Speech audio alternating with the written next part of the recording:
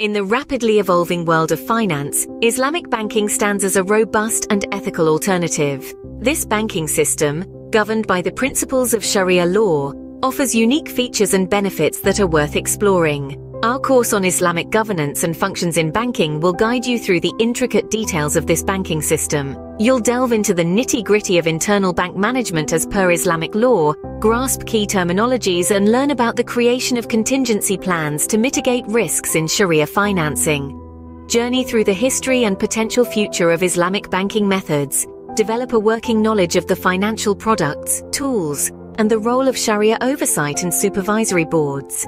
This course is an invaluable resource for professionals across the spectrum, from business owners, bank managers, to auditors and investors, and everyone in between. Equip yourself with the knowledge of the functions and governance methods of Islamic banking and open the door to a world of opportunities. This is more than just a course. It's an investment in knowledge that pays the best interest.